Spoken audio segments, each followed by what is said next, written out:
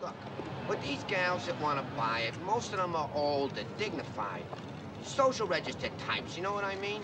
They can't be trotting down to Times Square to pick out the merchandise. They gotta have some kind of uh, middleman. And that's where O'Daniel comes in, you know what I mean?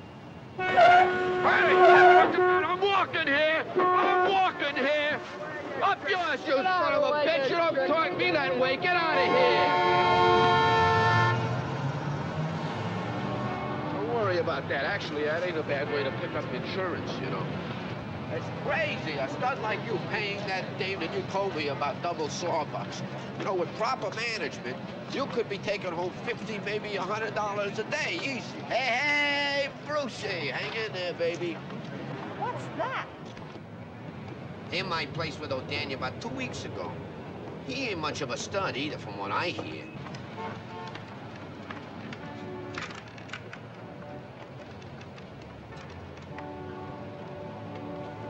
All right, all right.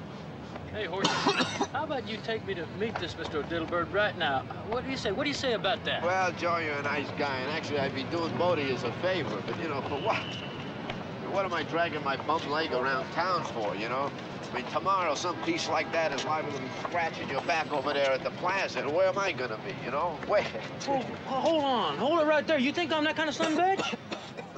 Well, you just you just name your cut, whatever you want. You you got it right now, I swear. It's all right. What you want, five?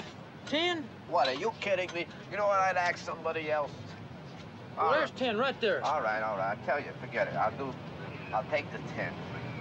But when I take you over to see Mr. O'Daniel, I'm gonna have to have another 10 just to cover expenses, all right? Uh, Come on. I'll buy you coffee. I'm busy. Get out of here. Come on, let's get sweet. Go to work.